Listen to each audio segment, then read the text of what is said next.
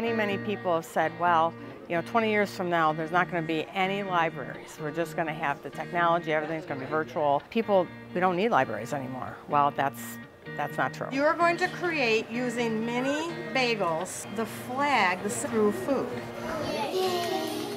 I have a, a restaurant degree, and so I've always loved to cook.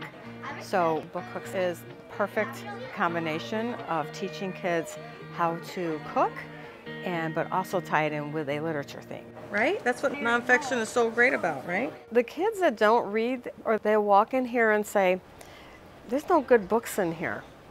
And I said, You know what I think?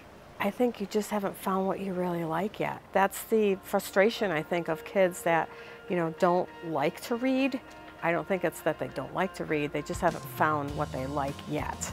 So let me help you. This is a great book to learn about hockey, but also about geometric shapes. The most rewarding part is to see the kids' faces when you find that just exact book for them. You need to read every day. You need to be reading every day to be to be successful.